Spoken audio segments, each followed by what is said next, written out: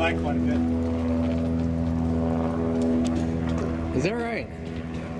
I think it's headquartered in Florida.